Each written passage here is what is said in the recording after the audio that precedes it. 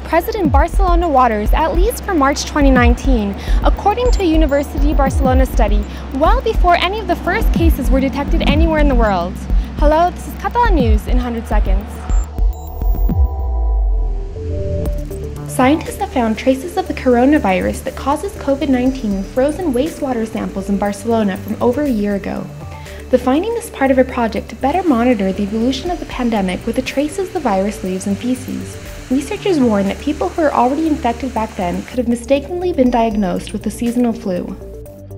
No ens, no ens tremolarà el pols per qualsevol decisió que s'hagi de prendre. Sempre, com sabeu, el govern de la Generalitat eh, posa per davant de tot la salut i la vida de les persones. The Catalan president has endorsed the Barcelona Pyrenees candidacy to host the 2030 Winter Olympics, lauding the project's respect for the environment and saying they could become the first green games in history. Barcelona transport tickets not used during the state of alarm will be compensated from July 1st. The company operating trains, buses, and the metro has committed to repay commuters who couldn't use their passes. Summer camps are back with coronavirus proof safety measures for children. Some organizations have even taught their instructors how to deal with emotional trauma derived from the pandemic.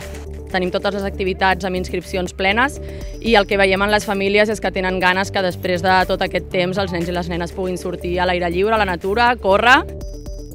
More and more cinemas are finally reopening. 80% of movie theaters in Spain are back at work from today, and some rejoiced at the news by showing the acclaimed film Cinema Paradiso, a love letter to the seventh art that is as timely as ever. Master filmmaker Giuseppe Tonatore won the Academy Award for Cinema Paradiso.